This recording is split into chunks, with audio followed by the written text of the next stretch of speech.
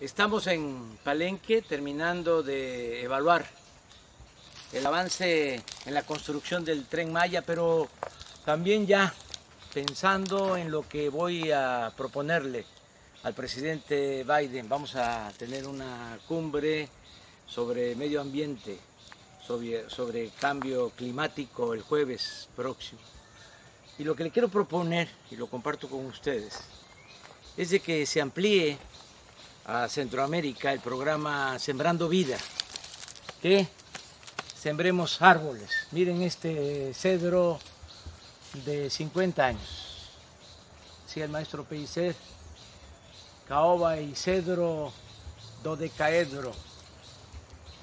Eh, son dos árboles del trópico que se dan en el sur de México, en el sureste, Tabasco, Chiapas, Campeche, pero también en Guatemala, en Honduras, en El Salvador.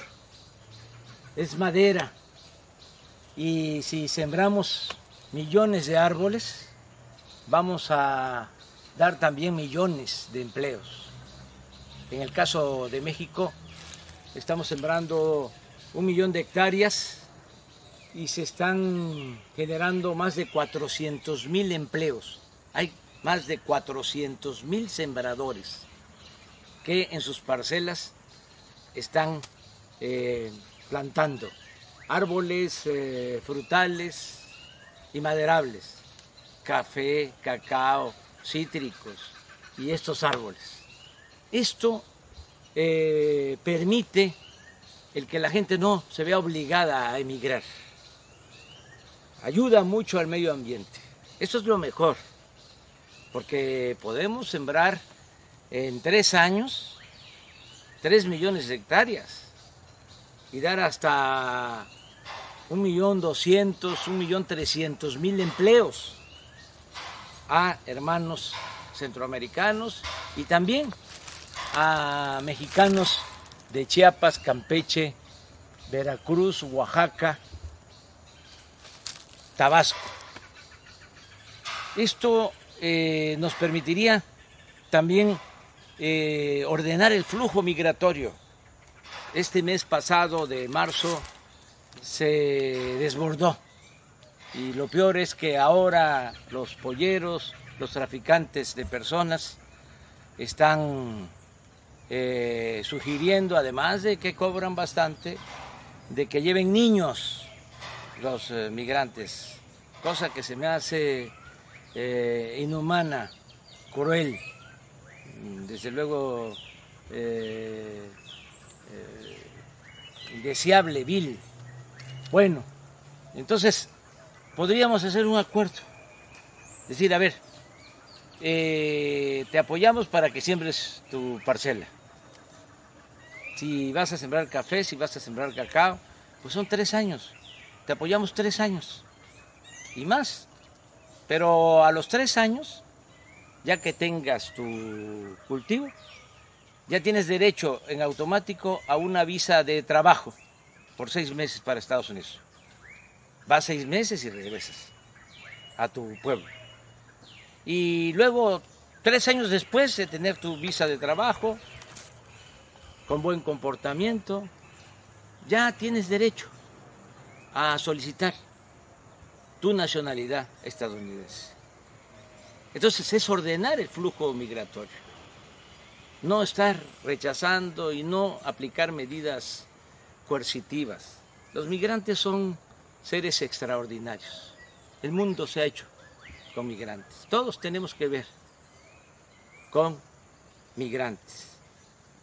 Bueno, desde la época prehispánica. Los mexicas fueron migrantes, todos hemos sido migrantes. Tenemos antecedentes de familiares migrantes. ¿Cómo se hizo esa gran nación que es Estados Unidos? Con migrantes. ¿Cómo se conformó esa patria, esa isla independiente, soberana que es Cuba? Con migrantes. ¿Cómo se transformó México este país único, con eh, un pasado glorioso, espléndido en lo cultural, en lo civilizatorio, la grandeza cultural de México. Bueno, pues también con migrantes. Eh, los europeos vinieron a México y América y los asiáticos lo mismo. Y esto desde que se tiene memoria. Siempre ha habido migrantes. Entonces, son, decía yo, seres extraordinarios porque se dedican a trabajar, eh, son gentes de bien, que en vez de optar por actividades ilícitas, por tomar el camino de las conductas antisociales, sobre todo los jóvenes, deciden echarse a andar, arriesgándolo todo para buscar algo que mitigue su hambre, su pobreza. Entonces merecen mucho respeto. Nada más es cosa de ordenar. Así como se hizo primero el Tratado de Libre Comercio, 1994. Ahora se amplió, se renovó, está mucho mejor en lo económico, en lo social, sobre todo porque se incluyó lo laboral, que no se contempló en el primer tratado. ¿Qué es lo que le quiero proponer al presidente Biden? Bueno, vamos a un tercer eh, tratado o a una tercera etapa. Vamos a hacer un acuerdo eh, regional de migración, un acuerdo migratorio. Canadá, eh, Estados Unidos, México y los países hermanos centroamericanos.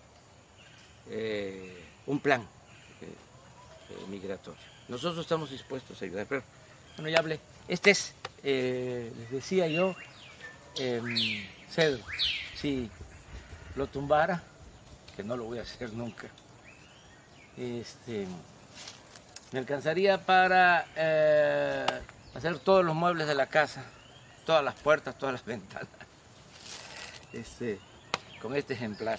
Pero miren, este tiene, les decía, como 50 años. Este ya es de la época de mis padres. Pero esto sí ya lo sembré yo acá. Les a presumir, les voy a presumir esto es caoba. Porque si el cedro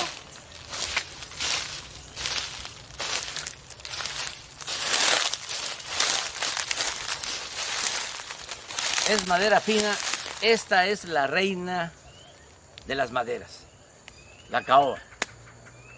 Cuando tengan oportunidad, bueno, los que pueden, pero hay muchos que van a Europa este, en las puertas eh, de los palacios, los muebles, los escritorios hechos por ebanistas de aquel entonces, todo eso está hecho con esta madera. Con caoba. Esta la sembré hace nueve años. Y fíjense cómo está todo esto. Claro, si se dan cuenta, aunque las sembré al mismo tiempo, hay unas más grandes, con más grosor que otras. ¿A qué se debe? Bueno, tiene que ver con eh, la calidad de la planta, la eh, fortaleza de la planta. Tiene que ver, eh, y sobre todo con el agua, es una parte más baja.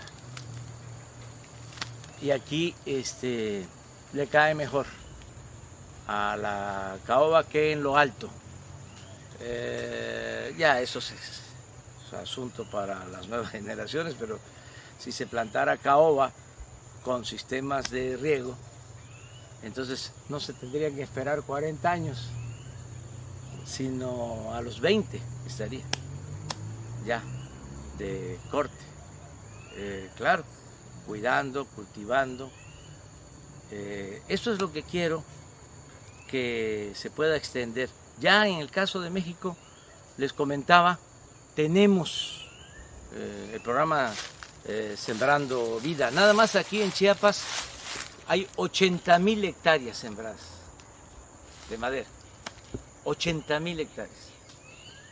Este, no, no, no. 200 mil hectáreas y hay 80 mil sembradores, nada más en Chiapas. ¿Y cuál es la diferencia de Chiapas y Guatemala si somos pueblos hermanos? Es cosa de extender el programa con las condiciones a las que hice referencia. Eh, vamos a agregar a la propuesta de México en cuanto a cambio climático dos cuestiones más. Una, no extraer eh, más eh, petróleo crudo del que necesitamos para eh, producir nuestras gasolinas. Aunque tenemos muchas reservas, hemos encontrado tres grandes yacimientos, ya no vamos a vender petróleo crudo, vamos a procesar toda nuestra materia prima en México y vamos a dejar de comprar las gasolinas en el extranjero. Entonces, ¿esto qué significa? De que en vez de extraer como se hacía antes 3 millones 400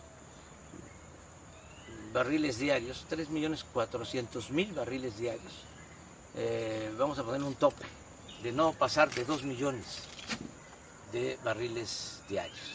Esto es dejar eh, petróleo para las nuevas generaciones, no agotar, no acabarnos la herencia de las nuevas generaciones, actuar de manera responsable. Y lo otro que vamos a hacer también para eh, contribuir a que mejore el medio ambiente es de que vamos a invertir en las eh, hidroeléctricas que se construyeron desde hace muchos años en México, pero tienen equipos eh, ya obsoletos, turbinas de hace 40 años.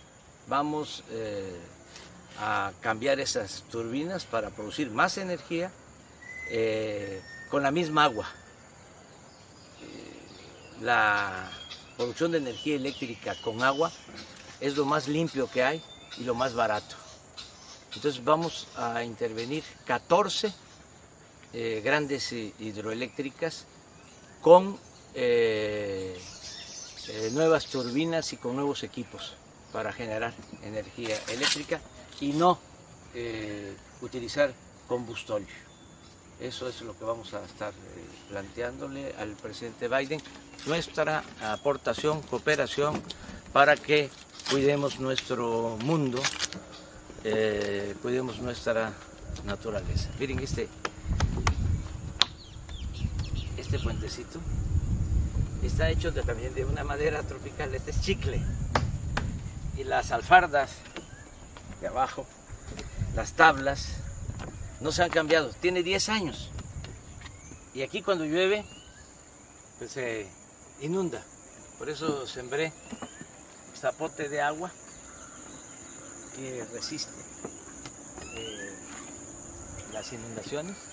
Y esto que es pinto, palo de pinto, que también es un palo muy fuerte, una madera muy fuerte, era la que se llevaban a Europa para dar colorido a las telas cuando todavía no se llevaba a cabo la revolución industrial y no habían eh, colores artificiales.